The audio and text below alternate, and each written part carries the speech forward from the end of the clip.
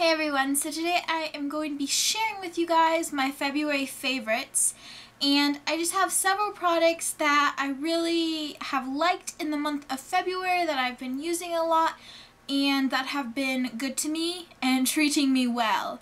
So I hope you guys enjoy. Okay, so to start off with lip products, I've really been loving this Tangerine EOS and this isn't really a new love, this is like a rekindled love, I guess you could say. Um, I always like to switch it up with my EOS. I have been using them for like about two years. So I always like to like use a different one um, like every once in a while, every month or so. And usually in the winter I like the minty kind. And I don't know, I feel like this is just making me think of spring and it's making me happy and I've really been liking this lately. Okay, so the next thing that I've really been liking is this Revlon Lip Butter in Peach Parfait. And I really like this because it's a nice kind of pink peach and it is not too orange. And I don't like orangey peaches, so this is a good peach and it has a little bit of shimmer to it. Nice application. Enough said. Okay, so next is this Zoya nail polish, and this is in Izzy, and this is actually in a Birchbox a while ago. So I didn't think I was actually going to like this color just because I don't tend to wear a lot of like um, red nail polishes, and I thought this was a little bit too red for me. I mean, it's more of a berry, but I, I don't know. I was just like, eh, I don't really like it. And then one day I just decided to put it on, and I don't know, I just really liked the color and I liked the shimmer. Next is this Got2b um, styling powder. It's like a volumizing powder and I've really been liking this because it's so like lightweight. It's really easy to just like shake it in my roots. Obviously I have the cap on right now.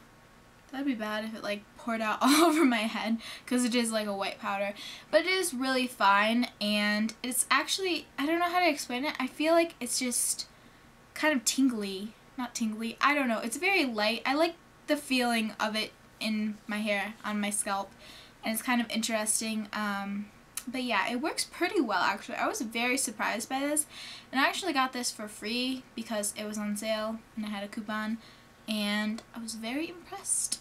Okay, so I have quite a bit of like facial redness, um, and I've been looking for a concealer that would work well. I was using Clinique before, and it didn't it didn't like my skin very much. I have some dry patches as well.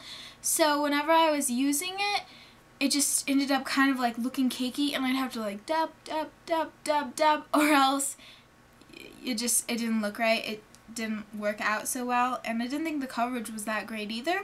So I decided to try this Smashbox High Definition Concealer because I was reading the reviews online and they were pretty good.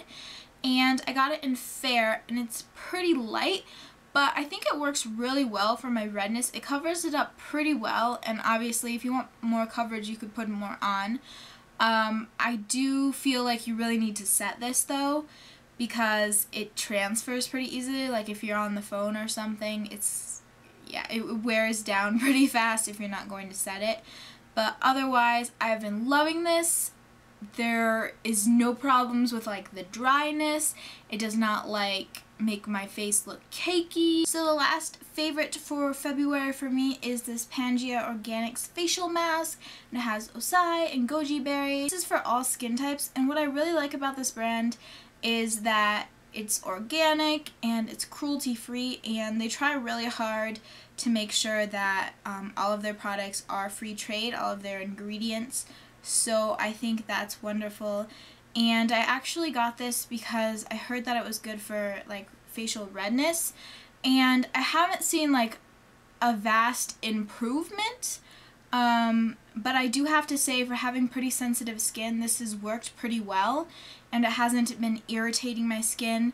And it just feels like natural. It just feels good on my skin. And I really like it. And it's just a nice kind of like refreshing smell. Let me know in the comments below what things you have been loving in February. Um, if there are products that you think I should try out, that you recommend, maybe I'll check them out and give them a try.